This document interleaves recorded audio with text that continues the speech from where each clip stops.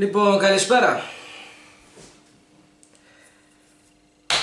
Ήρθε το πλήγμα του χρόνου που λένε ε, να ανακοινώσουμε τη λήξη ε, της συνεργασίας του marmitasports.gr και του Marmita Sports του YouTube και του Twitch με το Ραπτόπουλο. Θα κάνουμε έτσι ένα μίνι απολογισμό για το τι έγινε, πώς πήγε αυτή η διαδρομή και πώς και με ποιον τρόπο τελείωσε. Κάτι νομίζω που φαινόταν εδώ τους τελευταίους μήνες και χθες ήταν που λέμε η σταγόνα που ξεχύλισε στο ποτήρι. Λοιπόν, πέντε χρόνια συνολικά νομίζω ξεκίνησα από τη γνωριμία μου με τον Κωστή Ραπτόπουλο ε, ξεκινήσαμε μαζί στις αθλητικές ταξιαρχίες, μετά είχα κάποιες συμμετοχές στη Μαρμίτα.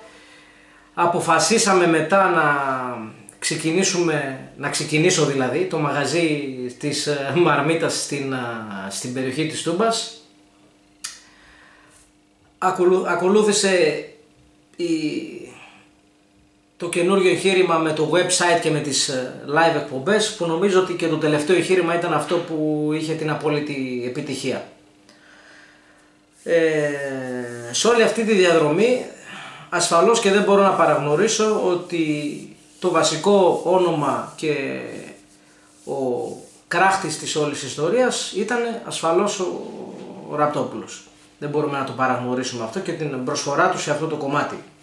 Ασφαλώς τίποτα δεν έγινε αφιλοκερδός και τίποτα δεν δόθηκε χωρίς να ανταμυφθεί σύμφωνα με αυτό που το άξιζε νομίζω έτσι.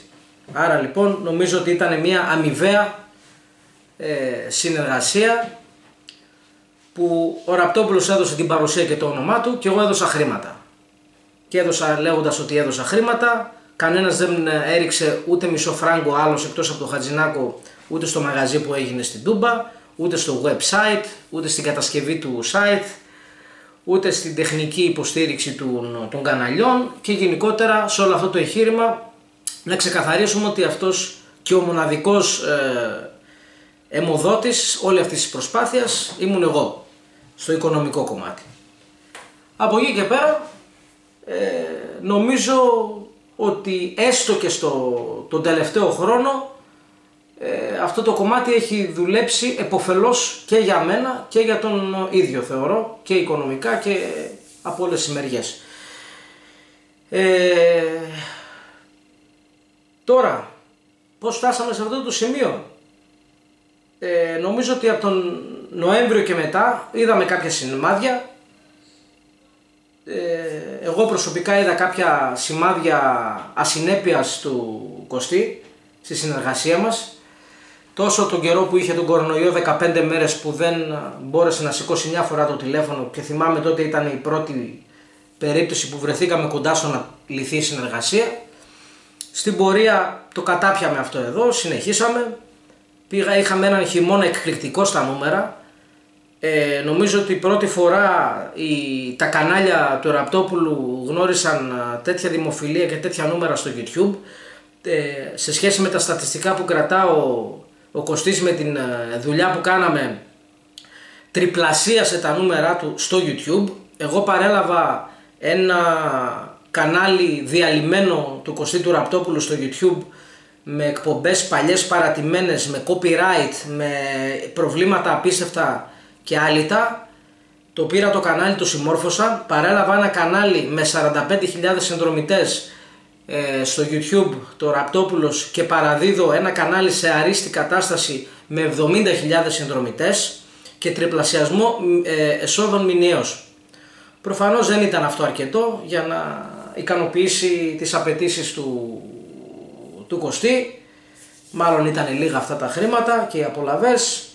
Ε, μπάση περιπτώσει ε, το κανάλι του αντιμετώπισε κάποια προβλήματα το τελευταίο διάστημα 2-3 εβδομάδες στο YouTube το οποίο δεν είναι δική μου δουλειά να το λύσω, είναι δουλειά της ε, εταιρείας που συνεργάζεται ο Ραπτόπουλος, του δικτύου που ανήκει το κανάλι του Ραπτόπουλου, γιατί δεν είναι κάποιο, δεν είναι κάποιο πρόβλημα προφανές. Το οποίο και η ίδια η εταιρεία αναγνώρισε ότι όταν εξέτασε το κανάλι του Ραπτόπουλου στο YouTube είναι σε αρίστη κατάσταση. Έτσι, άρα εγώ παραδίδω στον Κωστή πίσω ένα κανάλι σε τέλεια κατάσταση και τους τελευταίους πέντε μήνες με ρεκόρ ε, χτυπημάτων και εσόδων. Άρα λοιπόν έχω τη συνείδησή μου απόλυτα καθαρή. Λοιπόν, τώρα πως φτάσαμε σε αυτό το σημείο και μια αναδρομή για, την, για τη χρονιά μπορώ να κάνω. Ε, τα νούμερα ήταν όχι απλά εντυπωσιακά, φτάσανε σε σημείο να είναι διπλάσια και τριπλάσια τα νούμερα των σχολιασμών αγώνων ε, σε σχέση με, την, ε, με τη Μαρμίτα της Κυριακής όπου είναι η πιο ιστορική εκπομπή και δημοφιλής ε, του Ραπτόπουλου. Φτάσαμε λοιπόν να έχουμε διπλάσια ή τριπλάσια νούμερα στους σχολιασμούς των αγώνων. Αυτό νομίζω τα λέει όλα για τη δουλειά που έχει γίνει, για την προσπάθεια και για το ότι πιάσαμε νομίζω ένα project που αγαπήθηκε πάρα πολύ. Λοιπόν, ε, αυτό που έγινε τις τελευταίες ημέρες, ιδίως με το γύρο και μετά, όταν αποκαλύφθηκε και σε μένα ότι ο Ραπτόπουλος είναι πολύ κοντά στο να συνεχίσει ε, κάποιο άλλο, κάποια άλλη συνεργασία με το Μετρόπολης στο θέμα του Web TV, το οποίο δεν ξέρω τι και πώς, ούτε είναι δουλειά μου φυσικά να ξέρω και να πω περισσότερα. Ε, δεν είδα ένα κοστί ο οποίος σηκωνόταν στα παιχνίδια να φεύγει 5 και 10 λεπτά και 15 νωρίτερα, να μην μιλάει. Ε, στους σχολιασμούς των παιχνιδιών στην ουσία να μιλάει σχεδόν αποκλειστικά με τον Μπάκα, να γυρνάει το κεφάλι και να μιλάει και να αγνοεί εμένα και τον Ασλαμά.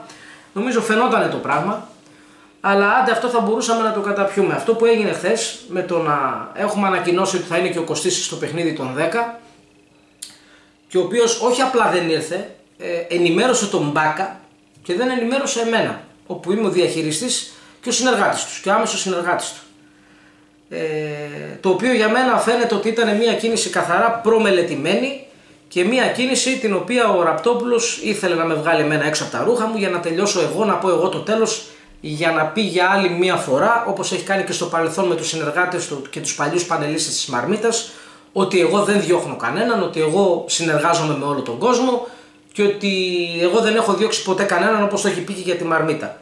Αλλά με τη συμπεριφορά του εξωθεί τον άλλον να πάρει αυτός αυτή την απόφαση. Το ίδιο έγινε και με μένα, δεν φρόντισε ε, σαν όπως όφιλε νομίζω όχι μόνο προς εμένα και στον Ασλαμά, αλλά και προς το κοινό που τον έχει στηρίξει όλο αυτό το διάστημα να έρθει σε μια τελευταία εκπομπή, να ανακοινώσουμε ωραία και όμορφα ότι τελειώνει εδώ η συνεργασία μας και ίσως να έμενε και κάποιο παραθυράκι για το μέλλον και να γίνει όλο αυτό ωραίο και όμορφα. Ωραία και όμορφα.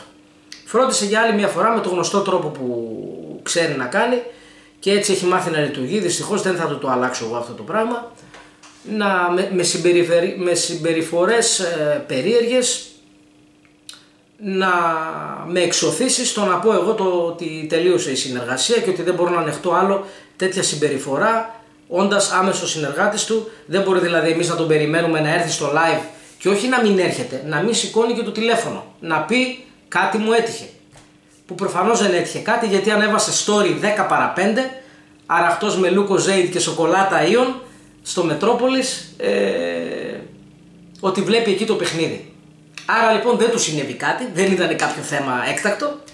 Ε, το έκανε επίτηδες για να με εξωθήσει μένα σε αυτό το σημείο. Δεν σήκωνε το τηλέφωνο και οδήγησε τα πράγματα φυσικά στο να μην συνεχιστεί αυτή η συνεργασία γιατί και εγώ και ο Μάριος έχουμε μία αξιοπρέπεια δεν είμαστε ούτε σκυλιά ούτε τσιράκια κανενός και ξέρουμε και έχουμε τον τρόπο να πορευτούμε και θα συνεχίζουμε να πορευόμαστε στον δρόμο που έχουμε ξεκινήσει. Και είναι μια συμπεριφορά η οποία ε, νομίζω ότι φύγει όχι αποκλειστικά μόνο εμένα και τον Μάριο που είμαστε οι άμεσοι συνεργάτες του, ε, φύγει όλο αυτό το κοινό που τον στήριξε όλο αυτό το διάστημα που κάνουμε αυτά τα εγχειρήματα με απόλυτη επιτυχία και με πολύ υψηλά νούμερα και λέει ο Ραπτόπουλος δηλαδή σας γράφω στα αρχίδια μου, όχι μόνο εσένα και τον Ασλαμά, όλο αυτόν τον κόσμο ο οποίος σε περιμένει να βγεις στο live και δεν φροντίζεις να ενημερώσεις. Μια συμπεριφορά άκρος αντιεπαγγελματική, άκρος ασυνεπής και έρχεται σε αντισδιαστολή με το ότι η Θεσσαλονίκη έχω κακούς συνεργάτες, ε, έχω ερασιτέχνες συνεργάτες, έχω ερασιτεχνικά μέσα, δεν έχω στήριξη, δεν έχω τίποτα.